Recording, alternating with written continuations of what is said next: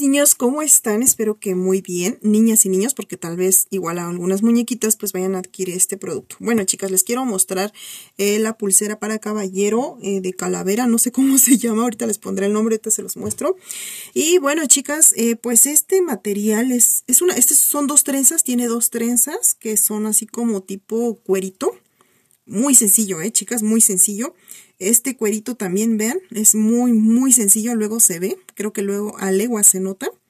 Los dos muy, muy sencillos. Eh, aquí tiene estos aritos, igual, súper, súper sencillos. La calavera, son plásticos. Pensé que era, eh, era metal, pensaba yo que era metal, pero no. Es plástico, esto nada más que aparenta ser como metal. Eh, están muy, muy frágiles, chicas. Yo siento que un golpe sí se puede reventar. Se pueden tronar, se pueden tronar. La pulsera igual, yo siento que si tú jalas con fuerza, me da cosita que se vaya a reventar, mis niñas.